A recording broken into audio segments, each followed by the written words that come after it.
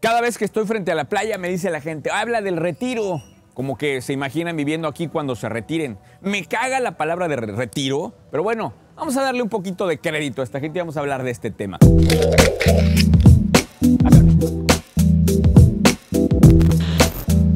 Quiero dar tres estadísticas importantes para que reflexiones sobre qué veo yo en el retiro. La primera, 95% de los latinoamericanos van a llegar en bancarrota, van a llegar en ceros a los 65 años. En ceros. Analízate primero si tú eres de esos. Segundo tema, la edad promedio, digamos el millennial promedio, se dice, millennial nacido del 80 al 97, se dice que va a llegar a vivir 100 años. 100 años. Nada más con los avances de medicina que vienen los años siguientes. Y tercera estadística brutal, eh, la generación alfa, los que están naciendo hoy, los bebés recién nacidos de hoy van a llegar a vivir 142 años. Esto fue tan controversial que incluso se convirtió en la portada de la revista Time. Ahora, ¿por qué te digo estas tres estadísticas? Porque si bien mi amigo Diego Dreyfus, a quien le mando saludo, dice te vas a morir, mi mensaje hoy es no te vas a morir, cabrón. Y esos años van a ser extremadamente costosos. Así que cada vez que pienses en tu plan financiero hacia adelante, proyectalo hacia la edad verdadera con la que va a acabar esta historia. Porque así lleguemos bien jodidos. Y esa es otra de las moralejas de esto, que analices cómo vas a llegar a esa edad. Pero independientemente de cómo lleguemos, la pregunta es si vas a poder comer, cabrón.